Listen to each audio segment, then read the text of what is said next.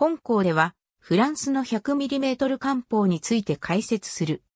第二次世界大戦直後のフランス海軍は、アメリカ製のマーク12 5インチ砲と互換性のあるエメリー48 5インチ連装砲とスウェーデン製のエメリー51 57ミリ連装砲を使用していた。しかし、これらの艦砲の多くは更新を必要としており、また補給上も後継の統一が望ましかった。このことから、フランス海軍は単一の療養法システムによってこの両者を同時に代替することを計画し始めた。当初はドイツ海軍が備蓄していた弾薬を流用できることから105ミリ口径が検討されたものの、間もなく100ミリ口径に変更された。この決定に基づいて1953年より開発が開始され、最初のモデルであるモーデル53が開発された。1958年よりルコルス級フリゲートの一隻であるルブレストアにおいて、1961年よりコマンダン・リビエル級フリゲートの一隻であるビクトル・シュルシェールにおいて実艦での運用試験が開始された。エメリー53はフランスが初めて開発した自動砲であったが、初弾については手動で装填する必要があった。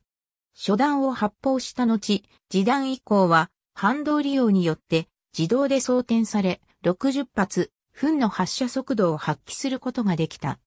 エメリー53はアナログ式の射撃式装置と連接されていたが、射撃式装置を改良するとともに発射速度を向上させたモーデル64も開発、配備された。エメリー53、64をもとに完全自動砲として開発されたのがモーデル68である。エメリー68の球弾機構は35発の即応弾と甲板下の弾庫を有し、弾庫には弾薬種が配置されているが、砲塔内は無人となっている。ただし、必要に応じて2名の砲員による砲側射撃も可能である。当初はアナログ式の射撃式装置と連接されていたが、1970年より配備されたモーデル68-2ではデジタル化された。また、エメリー68-2は継続的な改良を受けており、キャダム回収においては発射速度を78発、分に向上させた。さらに、ラファイエット級フリゲートに搭載されたエメリー 100TR においては信頼性を向上させるとともにステルス性に配慮した新設計の砲塔を採用している。1977年、クルーゾーロワール社は新しく軽量の100ミリ砲の開発に着手した。